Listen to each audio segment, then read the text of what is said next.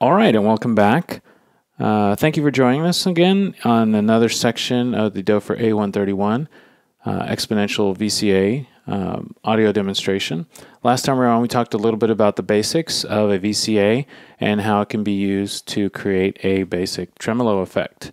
Uh, this time around, we're going to look at how you can use this module to process control voltages. Um, the exponential version can also be used for that. Um, it's right in the manual if you can take a look at it. Uh, and so we're going to be looking at what exactly you can do with it to, to change your sound. Um, what we're going to be using for that is uh, actually we're going to be using the VCO as our sound source, and then we're going to be sending it a modulating signal, and then hearing what that sounds like dry, and then we'll go through the VCA to hear how that's actually changing. Uh, so remember back uh, that the VCA is going to allow you to change the amplitude of a signal that goes into it. Um, in our last example, we used audio, so that basically brought the volume up and then brought the volume down. So what we'll be doing is adjusting the volume of a control voltage, in this case an LFO. So let's uh, hear our sound source, which is going to be, let's do a saw wave, and I'll patch that into my mixer uh, just so we hear what that's going to sound like. So here we go. So there's our sound source. And uh, the type of modulation that I'm going to choose to use this time around is going to be a pitch modulation or uh, vibrato, as it's referred to. So I'm going to take a sine wave and I'm just going to feed that sine wave into, I'm going to do, yeah, let's do CV1. So that's our basic uh, modulation going on. I can adjust the frequency up, make the modulation happen a little faster, bring it down, make it happen a little slower.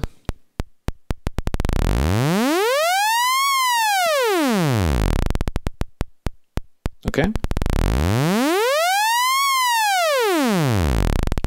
Okay, so now I'm going to use it to affect my LFO signal via the VCA. So I'm going to patch it into the audio in here. I'm leaving it at the same frequency. And then I'm going to take audio out and I'm going to patch it into my CV1. There we go. So we don't hear any modulation because remember the gain is all the way down. As I start to bring this up though, I'm going to start to hear our modulation come through.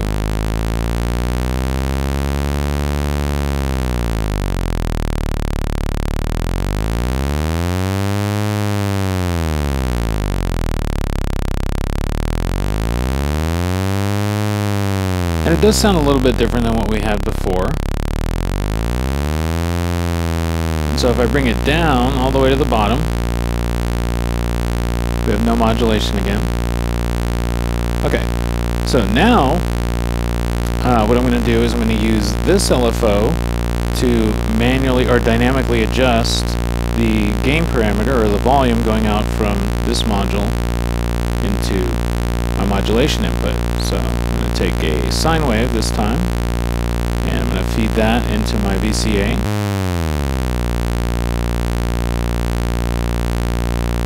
The frequency over here.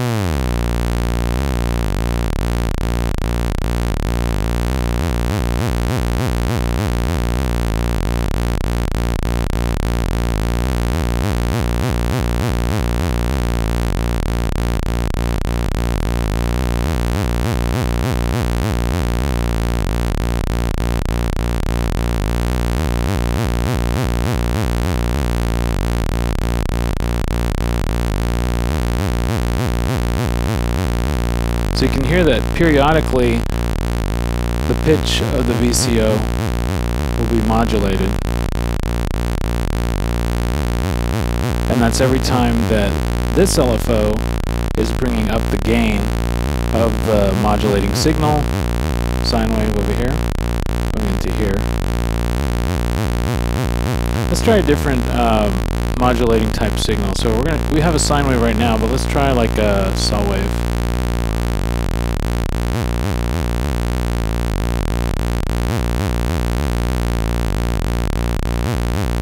Go. That's pretty interesting. I could bring up the frequency on my modulating signal. I'm gonna try and add it like a slow build.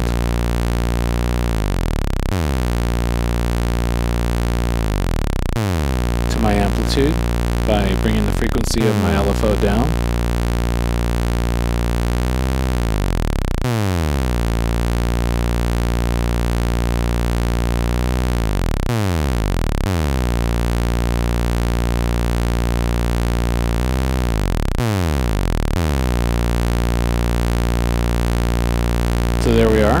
Standard uh, patch that you would use if you wanted to feed a uh, waveform into your VCA and sort of have it get its volume adjusted dynamically by then feeding a control voltage to CV1.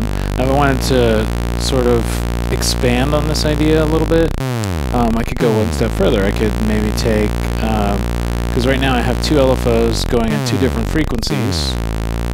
Um, I could take another waveform from this LFO and go into the audio in number two.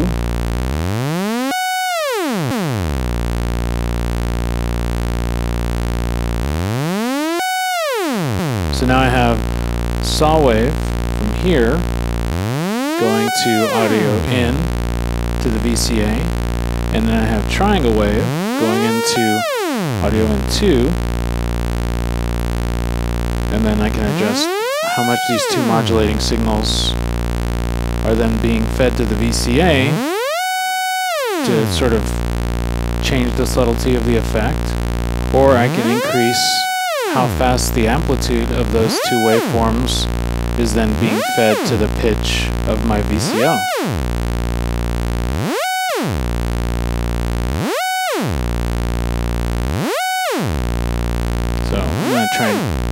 Just a little bit let me do this actually. I'm going to bring down in number two, so then we just have our saw wave.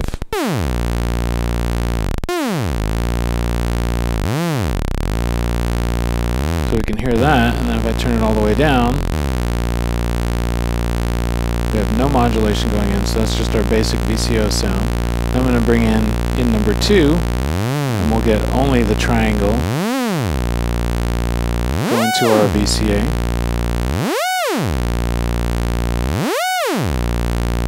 Or if I bring it up a little more, then we get a little bit of both.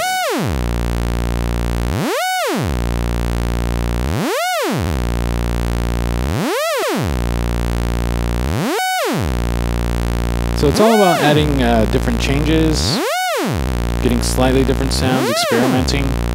Um, now if I wanted to go even one step even further, I could take another waveform from my first LFO and then feed it into control voltage number two here.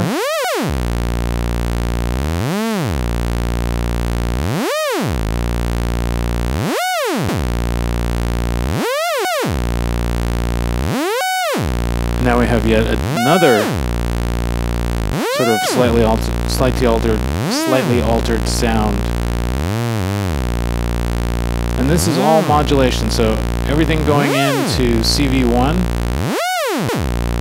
is one modulation signal being fed there, but we do have a LFO controlling the amplitude of that modulation going into the VCO.